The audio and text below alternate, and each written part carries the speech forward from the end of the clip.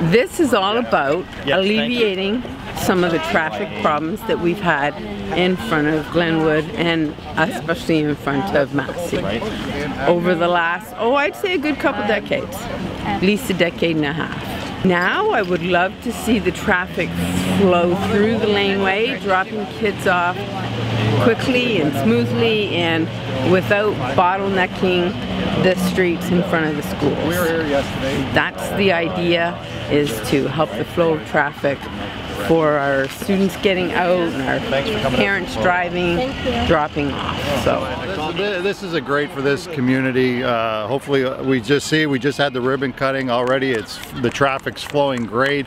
The parents are following the instructions. Glenwood School is out on the left, letting the kids safely out on the left side of the car. We got some parents and teacher volunteers here helping. The high school students are up farther. If you go out on Liberty Street today, where it used to always be just pandemonium, today there's only a few violators here. Maybe they didn't get the word yet or, you know, whatever, but we'll give them a couple days, let it get rolling, and then Monday we'll be back here and geez, I really, really hope that we don't write any tickets. But this is perfect for, for a starter. You got two schools that you're handling on this, so it should be great.